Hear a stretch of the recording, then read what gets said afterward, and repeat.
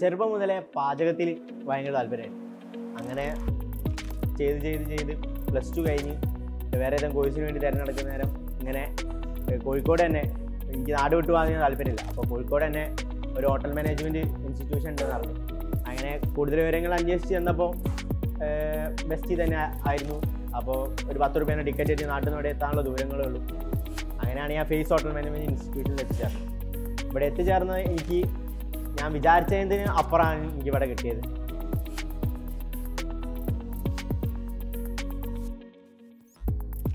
പഠിപ്പിക്കുന്ന സാറുമാരാണെങ്കിലും ഇവിടുന്ന് ഉണ്ടാക്കി പഠിപ്പിക്കുന്ന ഡിഷുകളാണെങ്കിലും ഒക്കെ പുറം രാജ്യങ്ങളിലുള്ള എല്ലാ ഡിഷുകളും ഇവിടെ പഠിപ്പിക്കുന്നു.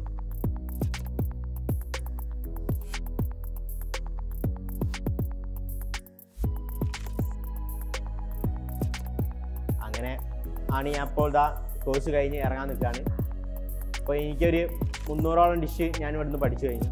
എനിക്കതിപ്പോൾ ഒരു ഹോട്ടലിൽ ചെന്നിട്ട് കോൺഫിഡൻസോടെ ഉണ്ടാക്കി കൊടുക്കാനുള്ള ഒരു കോൺഫിഡൻസ് എനിക്കുണ്ട്.